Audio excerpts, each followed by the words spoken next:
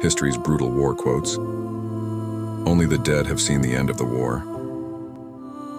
I know not with what weapons World War III will be fought, but World War IV will be fought with sticks and stones. The object of war is not to die for your country, but to make the other bastard die for his. There is no hunting like the hunting of man, and those who have hunted armed men long enough and liked it never care for anything else thereafter. War does not determine who is right, only who is left.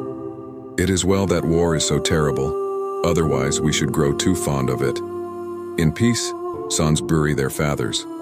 In war, fathers bury their sons.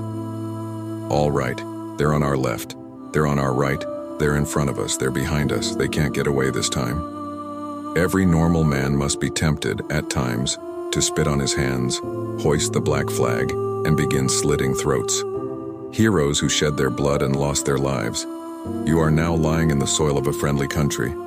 Therefore, rest in peace.